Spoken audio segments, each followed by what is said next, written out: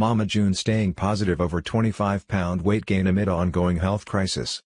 Mama June Shannon is choosing to stay positive after gaining weight amid an ongoing health crisis, especially after her dramatic 2017 body transformation.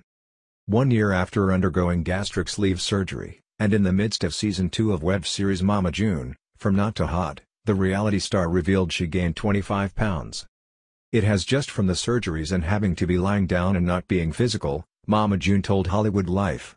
I went back to my comfort foods, like Uber Eats or Postmates, to be able to deliver food because it's easy, cause I've not been able to cook. I am beating myself up.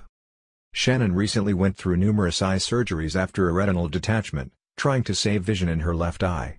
The procedures have left her immobile and in pain for most days in recent months.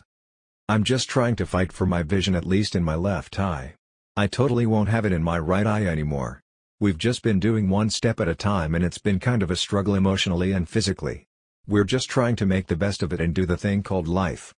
However, Mama June shared she isn't too concerned about her recent weight gain, and admitted to the outlet she didn't feel too comfortable when she first shed all her weight. When I came out I feel like I was too skinny cause I had never been that small. I'm pretty much happy where I'm at. A lot of people are like, oh my gosh, she's getting fat.